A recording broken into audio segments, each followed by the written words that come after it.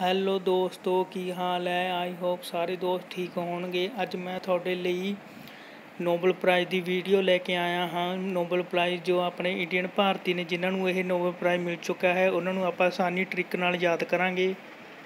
Trick ਦੇਖ ਲਓ ਪਹਿਲਾਂ। ਰਵੀ ਰਵੀ ਸਰ ਹਮਾਰੇ ਸਵੇਰੇ ਆਮ ਨਾ ਬਿਕੇ ਰਵੀ ਸਰ ਹਮਾਰੇ ਸਵੇਰੇ ਆਮ ਨਾ ਬਿਕੇ ਇਹ ਟ੍ਰਿਕ ਨੂੰ ਆਪਾਂ ਰਿਲੇਟ ਕਰਕੇ ਸਾਰੇ ਜਿਨ੍ਹਾਂ ਭਾਰਤੀ ਨੇ, ਜਿਨ੍ਹਾਂ ਨੂੰ ਨੋਬਲ ਪ੍ਰਾਈਜ਼ ਮਿਲ ਚੁੱਕਾ ਹੈ, ਉਹਨਾਂ ਨੂੰ ਆਪਾਂ ਯਾਦ ਕਰ ਲਵਾਂਗੇ।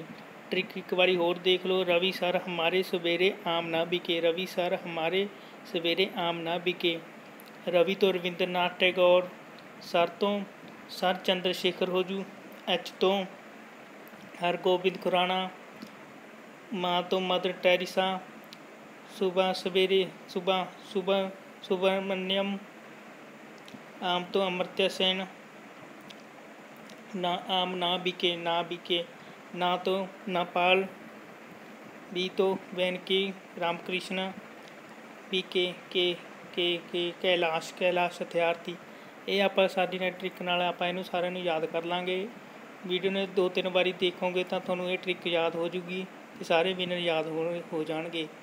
ਆਈ ਹੋਪ ਤੁਹਾਨੂੰ ਵੀਡੀਓ ਪਸੰਦ ਆਈ ਹੋਊਗੀ। ਲਾਈਕ ਤੇ ਕਮੈਂਟ ਕਰਕੇ ਜਰੂਰ ਦੱਸਿਓ ਵੀਡੀਓ ਕਿਵੇਂ ਜੀ ਲੱਗੀ ਤੇ ਚੈਨਲ ਨੂੰ ਸਬਸਕ੍ਰਾਈਬ ਕਰ ਲਿਓ। ਧੰਨਵਾਦ।